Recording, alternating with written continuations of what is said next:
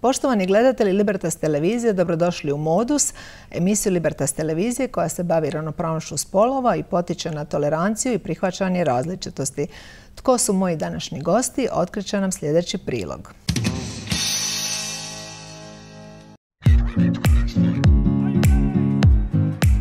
Vječno pitanje. Je li ženama mjesto za volanom? Mnogi muškarci će reći da nije. Ona je odlučila dokazati suprotno. Ljubav prema kartingu naslijedila je od svog tate i mame, koji su joj podrška od samog početka. Odlučila je slijediti svoje snove, imali što ljepše od toga.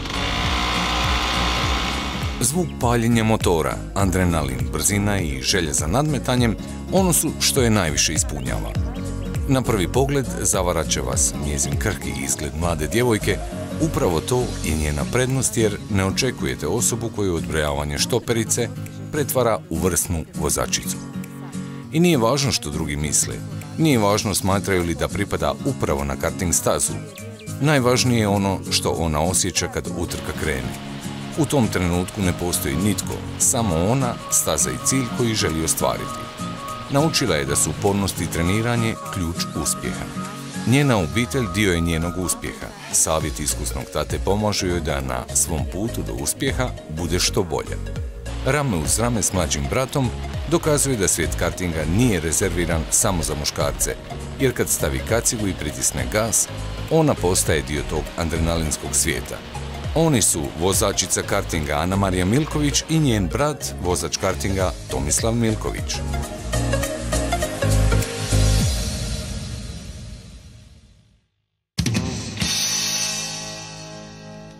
Kao što ste vidjeli u prethodnom prilogu, moji današnji gosti su vozačica kartinga Ana Marija Milković i Ana Marin brat Tomislav Milković, oboje vozači kartinga i isto tako članovi autokluba Dubrovnik Racing. Dobar večer i dobrodošli u emisiju Modus. Dobar večer. Lijepo je vidjeti ovako brata i sestru zajedno u našem studiju i da se zajedno bavite kartingom. Krenut ćemo e, odmah e, sa Ana Marijom. Otkad se ti baviš kartingom? Pa bavim se od 2014. godine, a službeno od 2017. Možemo li mi našim gledateljima malo približiti? Koliko si ti data imala godina? Da vidimo kako si ti bila jako mlada. Pa imala sam 13 godina. 13 mhm. godina i to mi je sve bilo novo i zanimljivo, tako da uglavnom onako mlada sam počela, ali super. I moramo reći da je naša Ana Marija i sada mlada, da ne bi naši gledatelji što drugo promisli. A odakle Ana Marija uopće ta ljubav prema trkama? Pa gledajući tatu. A gledajući tatu? da, e, on je profesionalno se zapravo bavi u brdskim utrkama i evo, idući tjedan idemo na prvi njegov nastup ove godine. Tako da gledajući njega i gledajući mamu koja je vozila do prije nekoliko. Tako da uglavnom gledajući njega. Mi znači još imamo jednu zanimljivu situaciju. Imamo situaciju da je cijela obitelj vezana, vezana za trke. E, odlično, baš, baš nešto, nešto vrlo interesantno. Znači tata je bio uzor, tata je bio pokretač. Da. Bravo Ana Marija. A Tomislave, je li ti drago što je Ana Marija odabrala karting? Naravno da je zato što nas to još više povezuje i super je što puno putujemo i družimo se. znači ima puno putovanja, druženja, znači obiteljska druženja, pa sve ste lijepo spojili, obiteljska druženja, ono što volite, odlično. A bi li ti volio da je Ana Marija odabrala neki drugi sport? Pa ne bi volio, iako i da je odabrala drugi sport, jednako bi je podržao. Jednako bi podržao. Ta podrška obitelji je izuzetno važna, je li tako Ana Marija? Da. A jesi li se Tijana Marija susrela e, s negativnim komentarima e, muških kolega na kartingu tijekom natjecanja utrga? Nisi? Ne, nikako nisam. E, svi se družimo, svi smo kao jedna velika obitelj, tako da nikad nije bilo problema. Znači, Niti grubih komentara, da. E, upravo sam to mislila kao kako su žene prihvaćene uopće u tom, amo reći, percipirano muškom svijetu.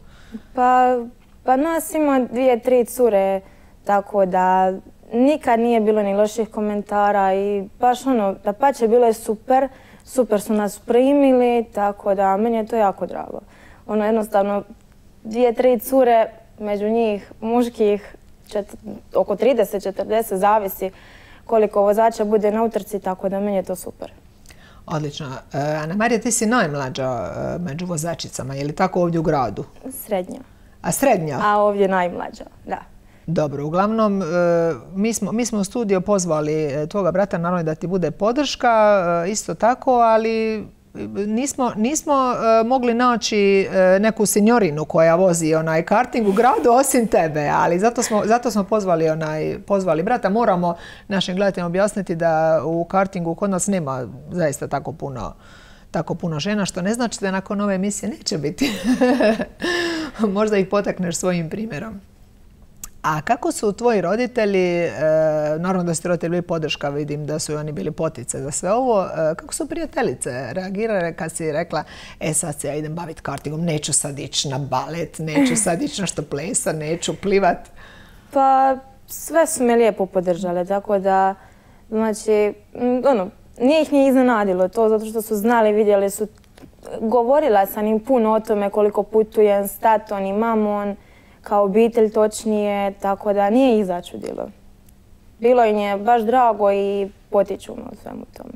Znači nisu ti predložili nešto drugo, ćeš sad tamo ići to voza, staviti tu kacigu na glavu? pa njima je jako drago, tako da meni je još draže što su uz mene. Super, super. To je jako važno. Naravno, podrška obitelji na prvom mjestu, ali isto tako prijatelja, prijateljica. E, Tomislave, smatraš li ti e, žene u kartingu ravnopravnima s muškarcima? Da, da, zato što u ovom sportu spol nije presudan. Nije spol presudan.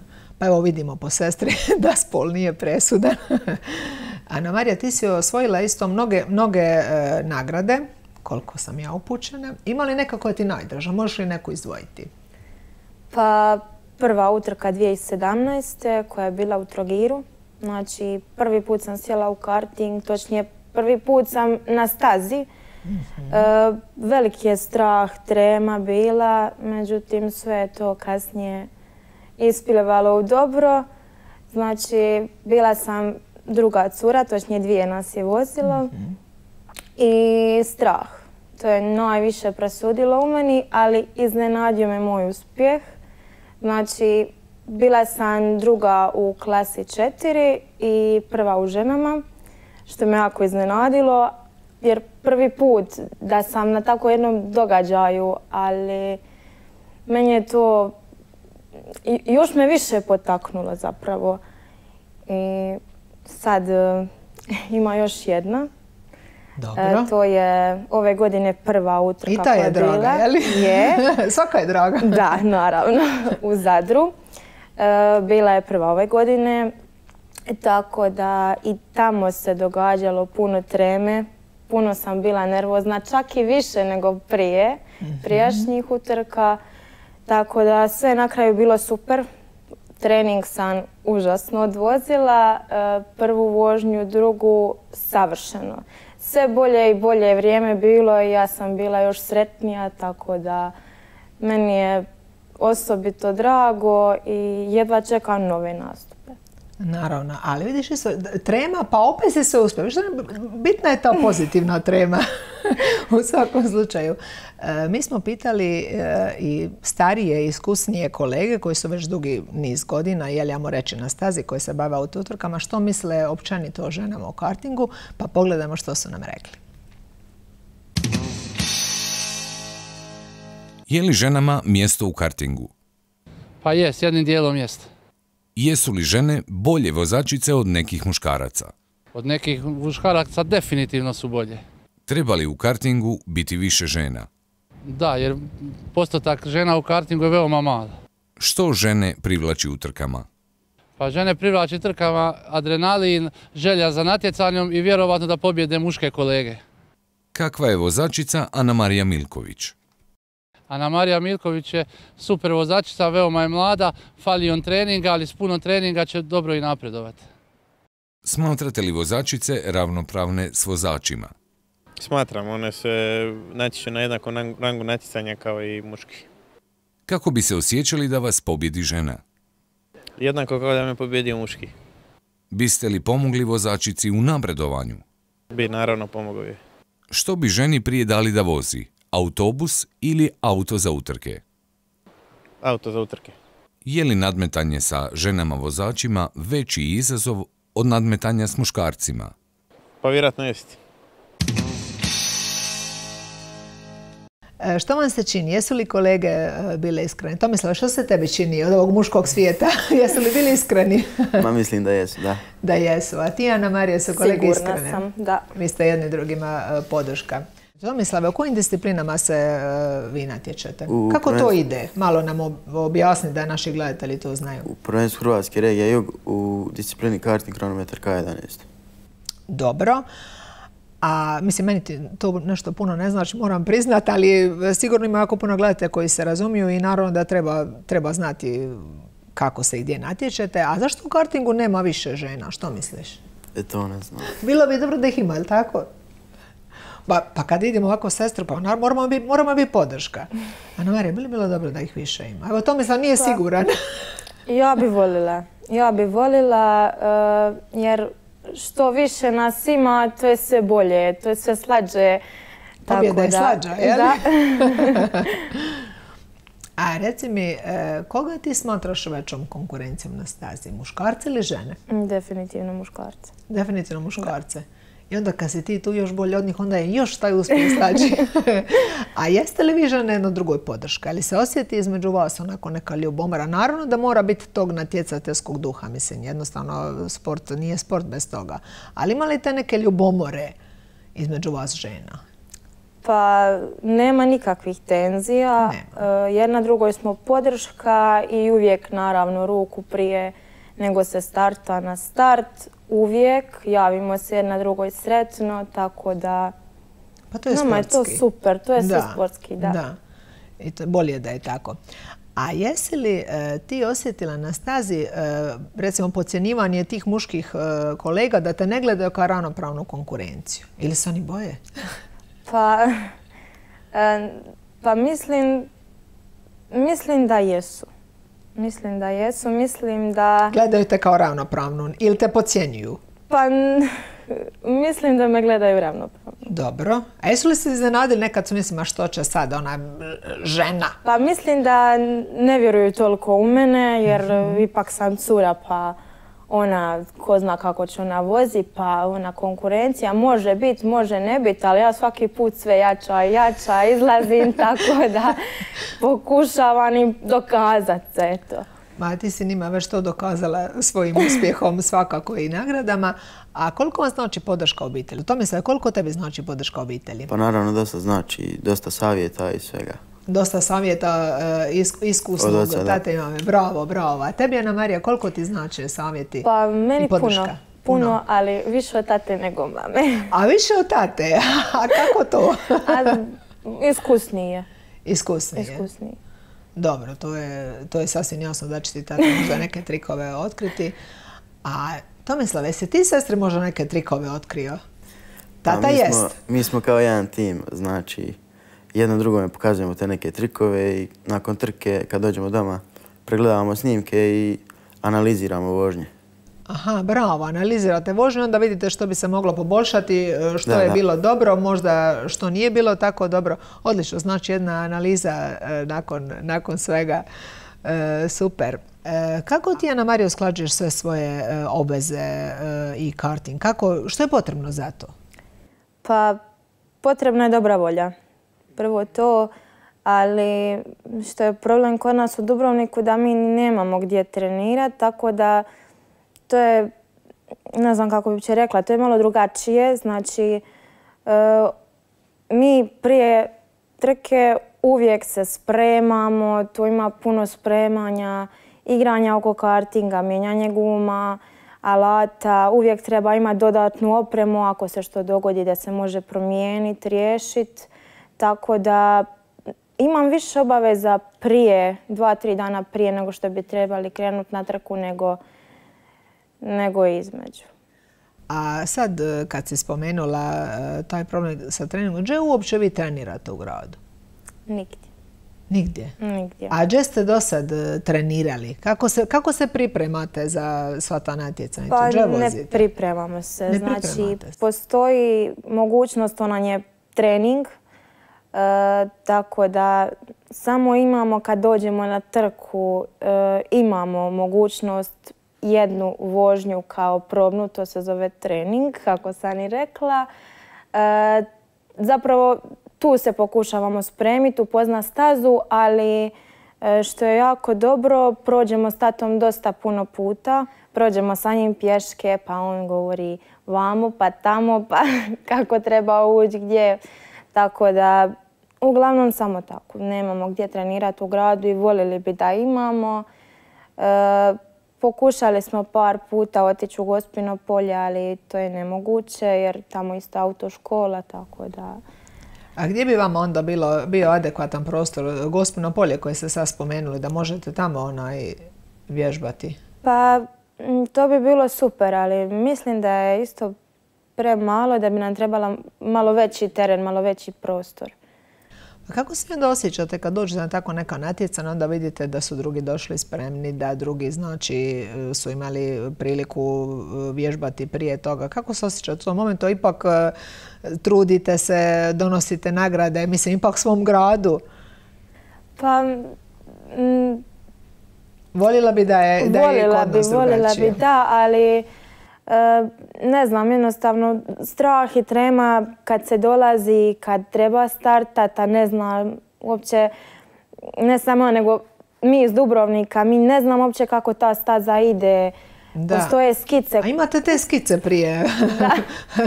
prije imate, znači vidite kuda ćete voziti sve to skupa? Je, ali opet ne pomaže to toliko pa koliko pomaže kad se prođe sa kartingom.